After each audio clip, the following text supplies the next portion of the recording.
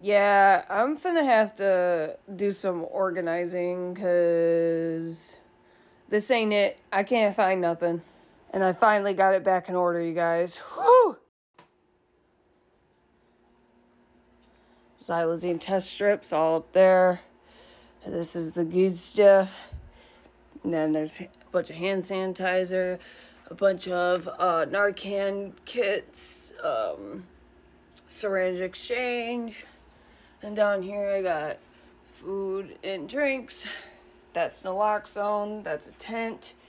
This is all Narcan. Then up here, I got fentanyl test strips. And then there's my straight glass. There's my bubbles. That's my worker kits.